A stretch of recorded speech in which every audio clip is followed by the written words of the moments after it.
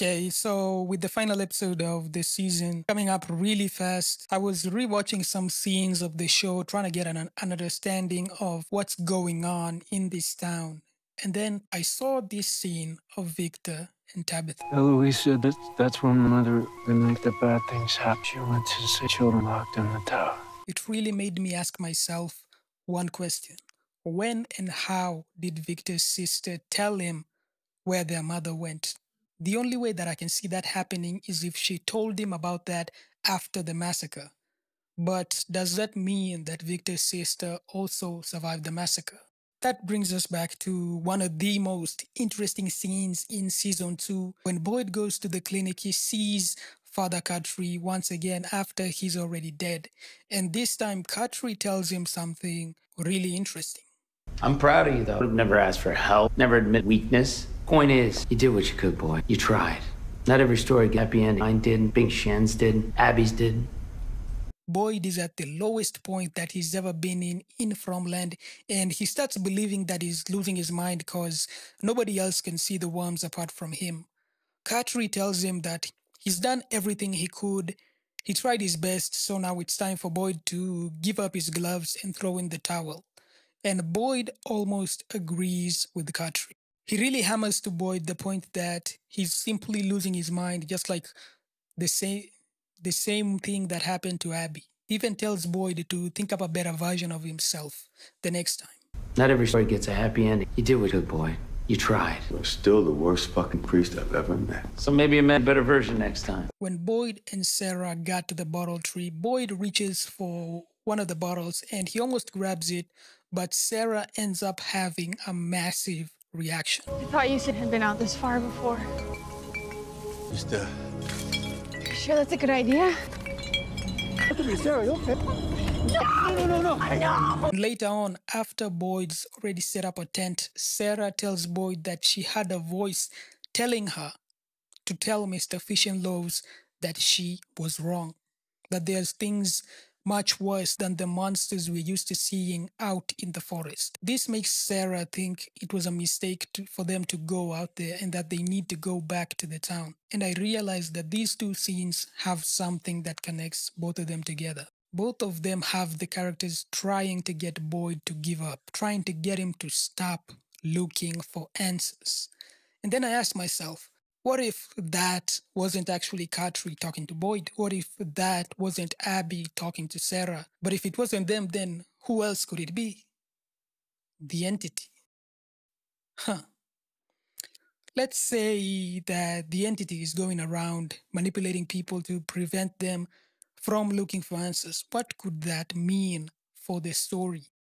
How did Boyd get the worms in the first place? By meeting the old man in the dungeon right?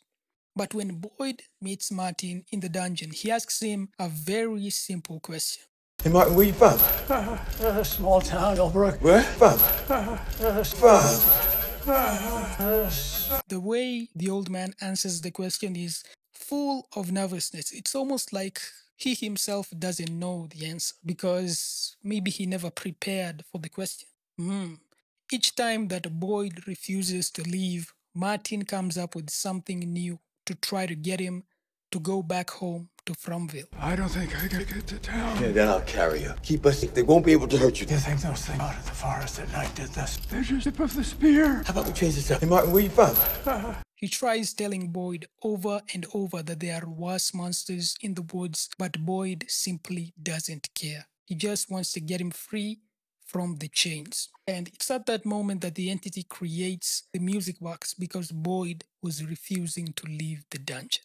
He tries persuading Boyd that the box means supposedly worse monsters are coming, but that doesn't phase Boyd. He still keeps trying to get him free. So what does he do? He brings up the one thing that's always affected Boyd Iron Abby. Ever wonder if Abby was right?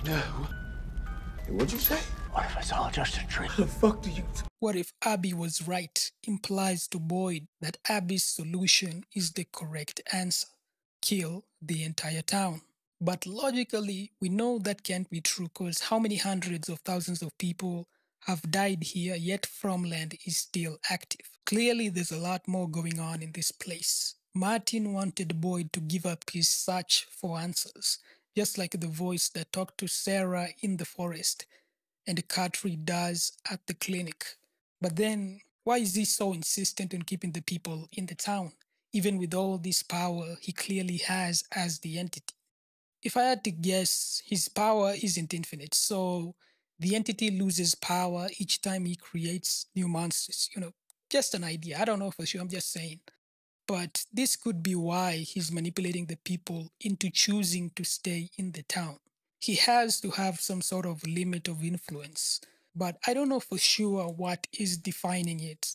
Whether it's that this world has multiple entities and each one has their own region, or if he built his own world but it's actually very small, hence why he has to loop the residents around the town. I'm not sure, but it could be that the lighthouse signifies the limit of his influence. So when Victor's mother got there, she either got sent to a different part of Fromville without any entity, or she got or she got sent back home to the real world, to the normal world, not the real world, but the normal world. Because think about how Boyd wound up in the dungeon in the first place. It was because the boy in white told Sarah that they need to go through the tree in order for them to be safe. If the boy in white and the old man were the same entity, then it would make sense. But it's hard to say for sure because we have that scene where Bakta, where Bakta tells us that the boy in white told her to turn the bus around before she got to the town.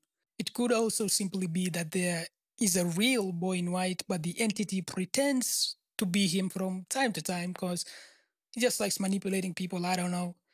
In the same way that he pretended to be Father Khatri and he pretended to be Abby. Because when Khatri first appears in season two, the scene is literally him playing chess and he literally says, Your move, Boyd.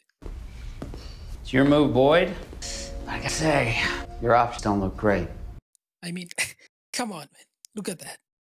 If that was the entity all along, it's crazy to look back on that scene.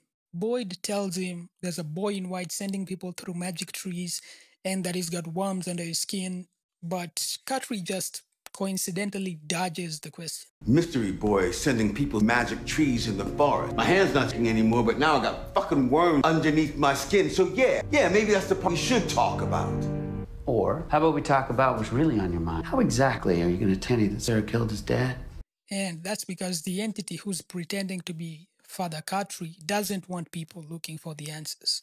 So when Boyd and Sarah reached the bottle tree in the woods, the entity starts hurting Sarah in an attempt to prevent Boyd from opening the bottles. Just like we see it affecting Sarah in the episode 10 preview and trying to prevent them from going to the ruins of the dungeon. And notice how her nose bleeds in both instances.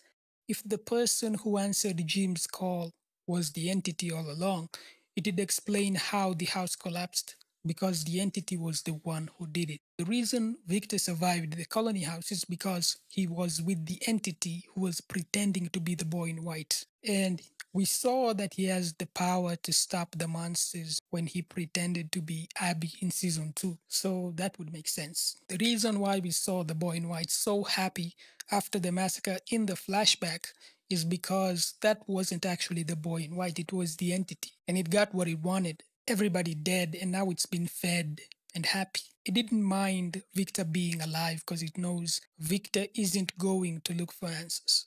And he isn't going to look for answers because the entity's been manipulating him for decades using the images of the people he trusts people like his sister, the boy in white, and probably his mother as well. The entity wants people to stay in the town, and that's why every time we see him, he tries to get Boyd to give up and to stop looking for answers. The entity is afraid of Boyd because Boyd is so stubborn and so fucking relentless. I'm proud of you, though. Sheriff, I knew, would have never asked for help, never admitted weakness. You were the most stubborn asshole I have ever met.